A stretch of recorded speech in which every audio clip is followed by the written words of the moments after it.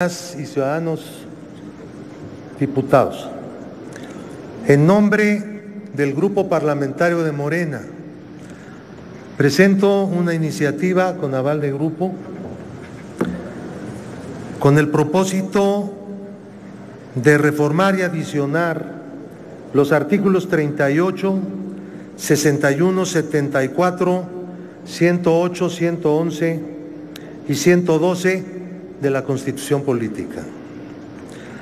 De lo que se trata es eliminar el llamado fuero, que consiste en la inmunidad procesal penal.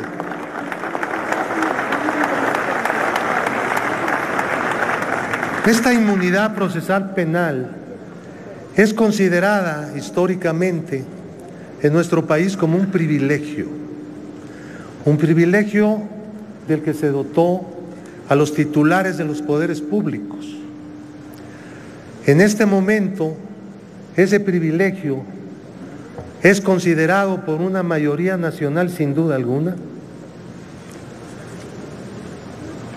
como un privilegio indebido, algo innecesario, por lo que es urgente ubicar a los titulares de los poderes públicos en situación de igualdad respecto del resto de los ciudadanos y ciudadanas. No debe haber ningún elemento que distinga o que privilegie a una persona por el hecho de tomar parte en la integración de alguno de los poderes. La inmunidad es, en cambio, un mecanismo para garantizar el funcionamiento de dichos poderes. Los titulares de estos no deben ser arrestados por autoridades menores con el propósito de que tales poderes, presidencia, corte, congreso, gubernatura, congreso local, puedan funcionar con libertad. Pero sus integrantes deben estar a la disposición de la justicia cuando sean acusados de haber cometido algún delito. Todos absolutamente todos, sin distinción alguna, incluyendo al presidente de la República. Y permítanme detenerme aquí un momento. Esta es la segunda vez que yo presento una iniciativa y actualmente hay una minuta en el Senado que fue enviada por la Cámara de Diputados. Siempre el problema para eliminar el fuero ha sido el presidente de la República. Presidente que no quiere que le quiten el fuero. Hablo de Calderón y hablo de Peña, para hablar con sinceridad. Hoy va a llegar a la presidencia un ciudadano mexicano que critica la existencia de dicho fuero y que promueve su completa eliminación, incluyendo la figura de presidente de la República, cargo que él va a ocupar. Me refiero Andrés Manuel López Obrador. Entonces, con el resultado de las elecciones, lo digo para aquellos que preguntan a veces, ¿para qué sirven las elecciones? Para cambiar muchas cosas algunas grandes, otras pequeñas.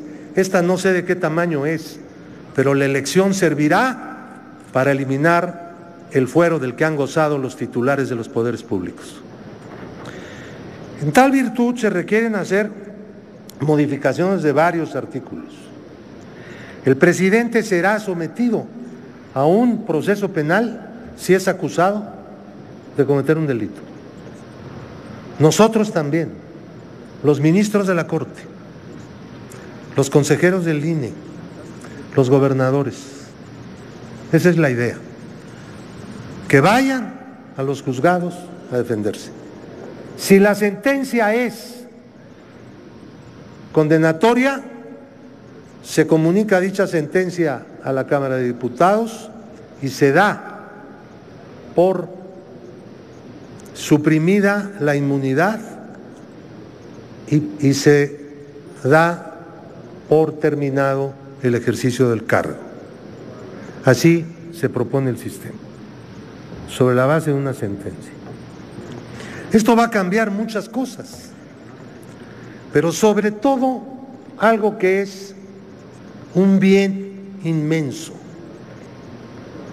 la percepción de la ciudadanía frente a sus autoridades, en especial aquellas que son elegidas por la propia ciudadanía. Uno de los elementos de mayor descrédito del Congreso es la existencia de ese fuero. El fuero que se le liga a la prepotencia del servidor público representante popular a la capacidad de éste para decidir cosas que solo él puede hacer. Todo esto debe modificarse. Esto es parte de un plan que nosotros tenemos, como toda esta asamblea conoce, que tiene que ver también con una nueva política de administración pública, con la eliminación de la costumbre de que los poderosos se ponen su propio sueldo, utilizan el patrimonio público para su beneficio.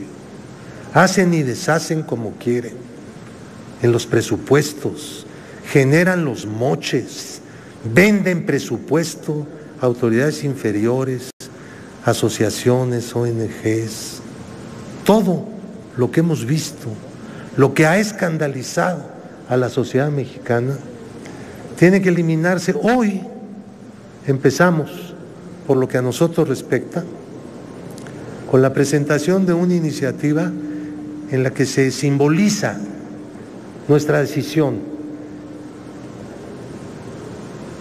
de luchar contra los privilegios del poder, hacer iguales a personas, ciudadanos comunes y corrientes y poderosos, ponerlos en un mismo plan de igualdad, controlar a los poderosos, vigilarlos, ponerlos bajo el escrutinio público y bajo el imperio de la ley, restablecer en México el Estado democrático de derecho.